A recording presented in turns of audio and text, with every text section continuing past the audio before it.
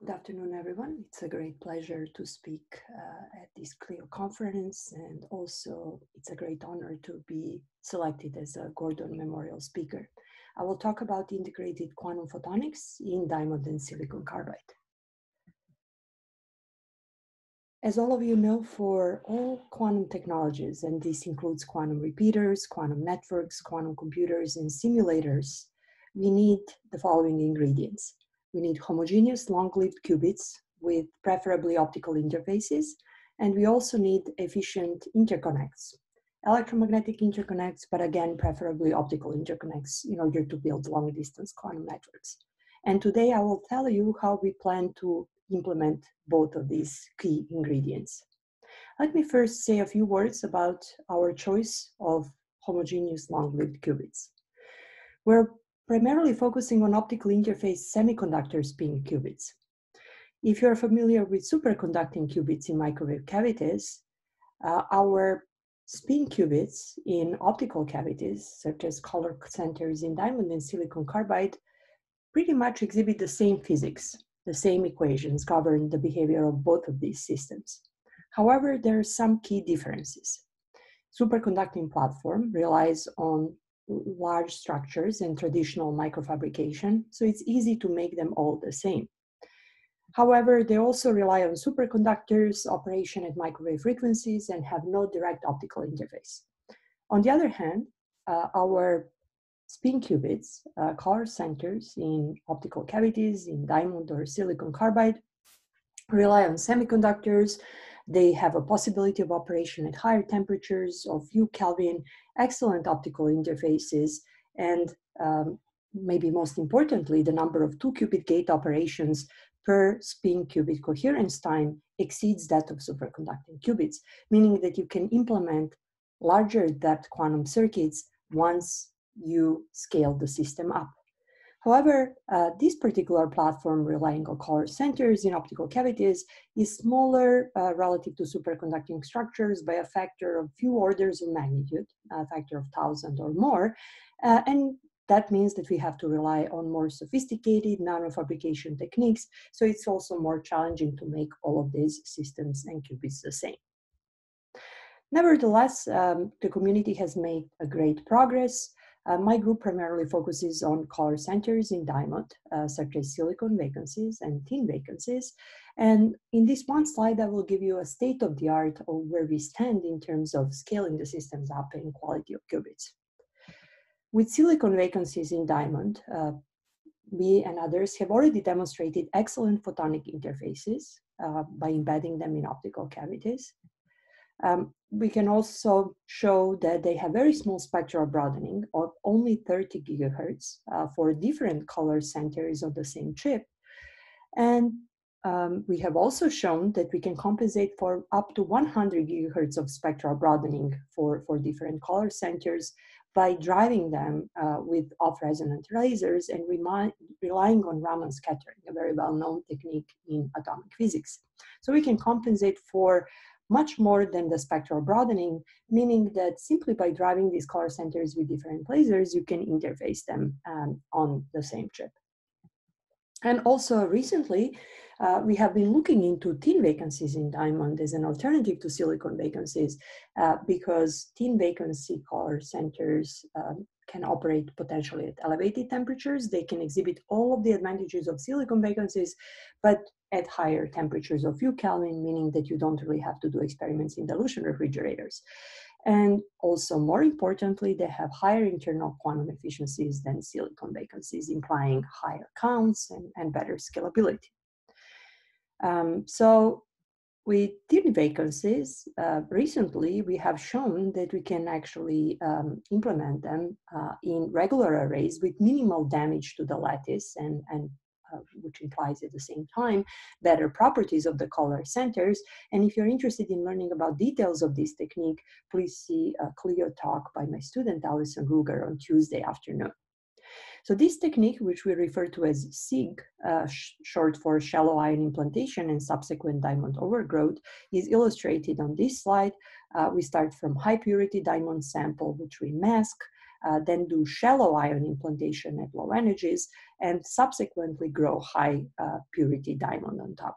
And here you see regular arrays, and there is a striking difference between tin vacancy color centers that are grown by high energy implantation, as the ones shown here, and the ones grown by um, shallow implantation uh, that I'll show you in a moment. So here you see shallow implanted diamond color centers. They have much narrower line width. Uh, some of the color, some of the lines in the spectrum disappear, in that case implying much uh, higher purity of the lattice and lower damage to the lattice. The other uh, color center of our choice for the experiment is a silicon vacancy in 4H polytype of silicon carbide. Uh, this is just a simply missing silicon atom from silicon carbide lattice, uh, which can exhibit uh, transitions uh, in the range around 900 nanometers, uh, so-called V1 or V2 transitions, depending on the position of the missing silicon atom in the lattice. Uh, we've been collaborating uh, on the experimental front with the group of Jörg Wrachtrup in Stuttgart and uh, on theoretical side with Sophia Economou from Virginia Tech. Uh, these color centers exhibit long uh, spin coherence time of 20 milliseconds. People have demonstrated uh, indistinguishable photon generation from such color centers and 65 megahertz line width of transitions um, where lifetime limit is 35 megahertz. These are very stable transitions. As you can see here, they're stable for, for many, many hours. Um, and these two transitions indicate spin one half and spin three half uh, transitions. And we can also Stark shift them, use DC Stark shift to shift them um, in compensate all of inhomogeneous broadening. So this is a Stark shifting of 200 gigahertz compensating all of the broadening in the system. So despite uh, being uh, uh, able to Stark shift them by um, external electric field, these color centers are still immune to any um, changes in the environment, making them extremely stable. Uh, so going back to color centers in silicon carbide, um, apart from DC Stark shifting, we also have a capability to do high-speed modulation and control of the spectrum of this color center, as you can hear in greater detail in the CLEO talk by my student Alex White, uh, also on Tuesday afternoon. Uh, the idea here is to uh, use high-speed um, electric field modulation at rates that are larger than the decay time of the color center as opposed to the traditional DC Stark shifting, which we explained before. In this case, you are theoretically predicting to see K eigenstates of the system. So as you're increasing the drive frequency, these new K eigenstates emerge and their uh, frequency can be changed by changing the drive free, driving field frequency and also strength of the driving field. And indeed, we also see that in the experiment, this beautiful spectrum of the K eigenstates. Why is this interesting? This is interesting because this idea of Floquet driving uh, can be used to spectrally reconfigure quantum emitters. Namely, by changing uh, the composition of the driving microwave field, we can completely reconfigure spectrum of the quantum emitter. And again, in his CLEO talk on Tuesday, Alex will tell you more about it, but I will show you also briefly in a few slides how we're doing that. For example, here for this particular driving field, you can see on the right-hand side the corresponding spectrum of the quantum emitter as a function of the increasing drive frequency. As you are changing the composition of the driving microwave field, the spectrum of your quantum emitter is completely changing. Um, as you can see here, adding more microwave components makes spectrum more complex, and then you can start optimizing the driving field, driving microwave field, and making the spectrum more asymmetric, changing it completely by making some of the components more dominant than the other components. We have demonstrated this experimentally as well. Here you see the experimental spectrum of the silicon vacancy in silicon carbide. Um, theoretical spectrum on, is on the left-hand side, and here we show experimental result for the driving frequency, which is illustrated with the dashed line. Uh, so your experimental spectrum is completely reconfigurable. At the bottom, it's decomposed to the transitions corresponding to spin 3 half and spin 1 half manifolds. And if you change the composition of your microwave driving field, the spectrum completely changes as shown here. And of course, by tuning the frequency, you can completely tune it and reconfigure it. So that gives you um, an idea how you can actually compensate for any inhomogeneous broadening in the system. But apart from that, also spectrally reconfigure your emitters to match them to something else in the system, um, to match them to particular other emitters or to your optics and resonators and so on. So now going back to the other ingredient of all of these quantum technologies, as I told you at the beginning, apart from these homogeneous long-lived qubits with excellent optical interfaces, we also need efficient optical interconnects, electromagnetic interconnects, but preferably optical interconnects. Um, so how do we plan to implement that? How do we plan to implement efficient quantum optical interconnects, which are necessary for system level integration? In the past, in our experiments, and also experiments in other groups, you would see the very simple structures interfacing single quantum emitters that often uh, have very, very low quantum efficiency. And this is, these are some of the results from my group on Diamond and, and Quantum Dot, but the results are pretty similar in other groups as well. So how do we change these efficiencies and push them as close to 100% as possible, which is really necessary for scaling systems up? For this particular problem, we plan to use uh, photonics, uh, in, uh, inverse design for photonics, the method that our team has pioneered over the past uh, decade or more. Um, if you're interested in, in learning more about it, you can hear a CLEO talk by my postdoc Qiu Liang on Monday um, at 4 p.m., today at 4 p.m. Um, but the main idea is that photonics can be efficient, robust, and insensitive to errors. And here uh, we've been relying on the software suite that we developed called Stanford Photonics Inverse Design Software or SPINS uh, that several major companies are now using. Uh, you can also download the open source version of this from GitHub uh, SPINS-B uh, that my team has developed. And as you can see here in the example of WDM devices, wavelength splitters, uh, we can make them to be compact and robust to errors. So when you measure uh, multiple devices on the same chip, they all perform the same without any post-tuning. And recently, we have also shown in collaboration with the plenary speaker, John Bowers, that uh, inverse design is fully compatible with foundry fabrication. So for this three-channel wavelength splitter as an example, um, after fabrication in a foundry in photonics, uh, we can show that um, experimental results completely match theory. Uh, so here are experimental results for many different devices and they completely match theory. So, so not only you have a method that can produce robust and efficient photonics, you can also make it um, uh, foundry uh, compatible uh, and that's exactly what we've done. So now going back to the idea of quantum photonics, how can you adapt inverse design to quantum photonics? Well, this approach is material independent, um, so you can of course adapt it to your diamond and, and silicon carbide platform and incorporate your uh, fabrication constraints for, for that particular material system and design more efficient devices. So in Diamond, uh, we have uh, adopted fabrication method, uh, uh, which was inspired by the work of Paul Barclay at Calgary and uh, also, also subsequently adopted by Dirk Englund at MIT. And this is the method which relies on isotropic and anisotropic etching of diamond, basically three-dimensional carving of diamond, where you can produce uh, arbitrary shapes which are compatible with inverse design. Um, and as an example of how better structures perform once you optimize them, here is an optimized coupler um, to cavity um, traditional notch couplers, which we used in our previous work, have very low efficiency. Uh, but in the same footprint, you can implement these optimized vertical couplers.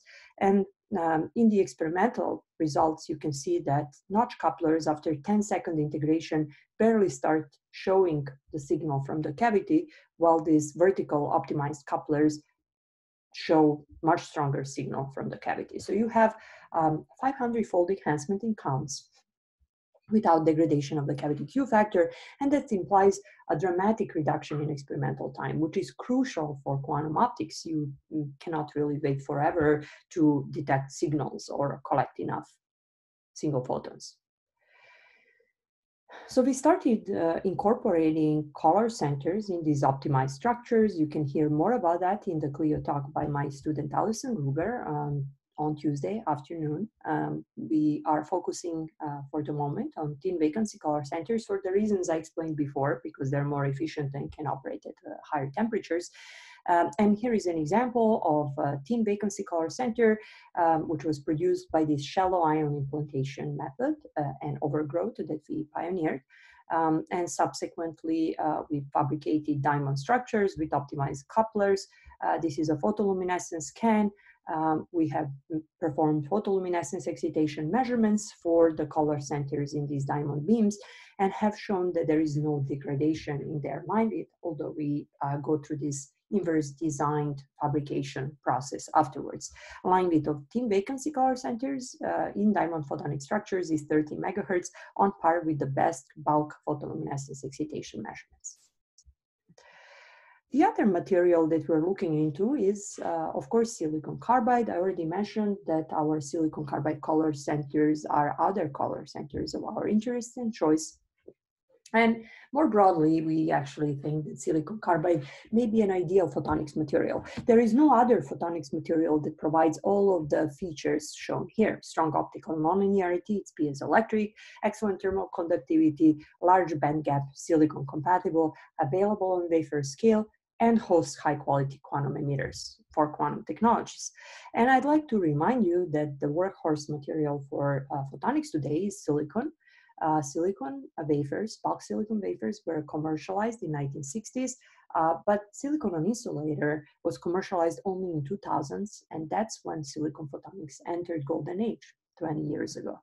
Um, lithium niobate is another very exciting material for photonics now, Bulk lithium niobate was commercialized in 1990s, but it took 20 years until 2010 to commercialize lithium niobate on insulator, and that's really when this effort on thin film lithium niobate photonics started. But what about silicon carbide? I said that silicon carbide is an ideal photonics material. No silicon or lithium niobate can provide everything that you have here, right? They, they are not really as good for all the applications in photonics as silicon carbide is. And silicon carbide wafers were commercialized in 1990s uh, from companies such as Cree. You can get six inch wafers of silicon carbide. But there is no commercial silicon, on silicon carbide on insulator. Uh, and that's necessary for photonics, which is why we had to develop a high quality silicon carbide on insulator. Um, the additional requirement is that we cannot use the process that would degrade the quality of the silicon carbide layer. So ion implantation, um, uh, which is necessary for smart cut process, is off the table in this case because it would introduce unintentional color centers in silicon carbide. So we developed a different material, different method for in, in for preparing silicon carbide on insulator material, um, where we start from a silicon carbide wafer, uh, which we bond onto oxidized silicon wafer grind and thin it, um, finally do fine reactive ion etching uh, for final thinning step, and we end up with a thin layer of silicon carbide on insulator um, by few millimeters by few millimeters in size, but this can be scaled to larger wafers as well. Uh, and we can produce high quality quantum photonics here. And at the moment, we have properties of this material that are on par with silicon on insulator and silicon photonics. Here are some examples of uh, structures fabricated, including some inverse design structures fabricated in silicon carbide on insulator. We have quality factors now exceeding 1.2 million at telecommunication wavelengths. I already mentioned that silicon carbide uh, is a very interesting material for other applications. I'll show you in a moment, nonlinear and quantum photonics. Uh, but here is an example, for example, of measurement of uh, resonance measurement uh, for uh, resonators in silicon carbide. Um, we measure this through inverse design grating coupler transmission, uh, and we see quality factor of 1.1 million here. Uh, this is a telecommunication wavelength. And if you're interested in learning more about this, uh, please hear a CLEO talk by my student Melissa Guidry on uh, Thursday, Thursday afternoon. Apart from just photonics, um, as you'll hear from Melissa, we're also focusing on nonlinear photonics. Silicon carbide has really good uh, second order nonlinearity and third order optical nonlinearity. Um, we've demonstrated that. We've done second har uh, harmonic uh, generation, but we've also done, um, uh, in this particular case, optical parametric oscillation. Uh, we have 8 milliwatts of threshold for OPO on silicon carbide and we are already seeing Kerr combs in silicon carbide, which is very exciting, uh, not only for nonlinear optics, but also for quantum photonics, because you can actually do quantum frequency conversion on the silicon carbide chip. And on the quantum photonic side, uh, we are uh, showing excellent uh, light matter interaction between color centers, silicon vacancies coupled to these silicon carbide resonators. When color center is on resonance with the resonator, we see 100-fold enhancement in its emission uh, as expected. We also see strong reduction in lifetime of that quantum emitter. And we can show from second order correlation measurements that we're indeed doing all of these measurements on a single quantum emitter. It's uh, not done on, on multiple emitters. So strong Purcell enhancement. So what is our outlook for these um, integrated quantum photonic networks. We, we think that silicon carbide on insulator provides an excellent platform for integrated quantum photonics. Um, not only you can have high quality emitters embedded in structures on the chip, but you can also uh, do um, on the same chip quantum frequency conversion to match them to telecommunication networks. You don't need other materials uh, such as lithium niobate. Um, you can also add an additional layer of silicon nitride, for example, on top, uh, which you can use to reconfigure the networks underneath because uh, in all quantum um, computing quantum simulation platforms, you always have imperfections and you always need some level of reconfigurability. That's what people are doing in atomic physics with tweezers. That's what they're doing in quantum circuits. So you need uh, another layer where you can fabricate your photonic circuits that would interface only high quality emitters. And um, we also believe now that we can build quantum simulators and you know, potentially even quantum computers on the um, photonic chips uh, by using these optical interface spins. Um, we are collaborating with a group of Ignacio Cirac in Munich on um, the proposal that his group uh, put together a number of years ago primarily in the context of atomic physics systems, but we think now that it is adaptable to solid state uh, emitters, where you have an array of qubits that are coupled to uh, photonic structure underneath or around it, which changes density of states.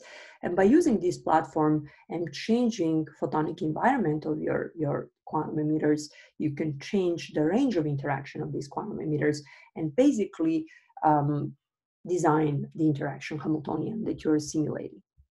Uh, so how do we plan to approach that? Well, our inverse design uh, gives us the opportunity for dispersion engineering, density of optical states engineering.